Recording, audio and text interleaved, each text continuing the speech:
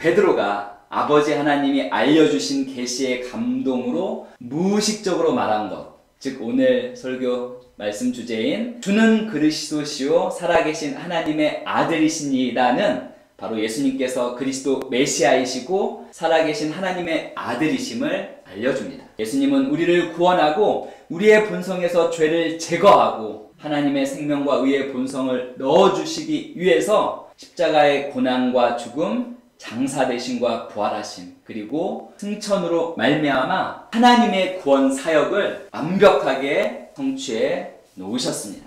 바로 예수님만이 인간이 하나님께 이르고 다시금 하나님과 교제할 수 있도록 만드는 유일한 길이 되십니다. 예수님은 동물의 피가 아닌 자신의 피로 단 한 번 하늘 지성소에 드림으로 인간의 죄와 저주의 문제를 단번에 영원히 해결하셨습니다. 예수님은 인간을 사로잡고 지배하던 사탄 마귀와 그 모든 졸개들을 무력화시키고 구경거리로 전락시켰습니다. 그래서 이제 거듭난 인간은 사탄 마귀로부터 해방되었고 흑암의 권세로부터 하나님의 사랑하는 아들의 나라로 옮겨졌습니다. 예수 그리스도를 통해 성취되고 완성된 이 하나님의 구원은 주 예수 그리스도를 영접함으로 누구나 누구나 받을 수 있습니다. 주 예수 그리스도를 영접한 사람들에게는 어떠한 권세를 주셨습니까? 바로 하나님의 자녀가 되는 권세를 주셨습니다. 영접의 방식은 로마서 10장 9절에 따라서 예수님이 주님이심을 입으로 시인하고 하나님께서 예수님을 죽은 자들로부터 살리신 것을 마음으로 믿는 것입니다. 마음으로 믿고 입으로 시인하는 영접을 통해서 구원에 이르고 구원을 받는 것입니다.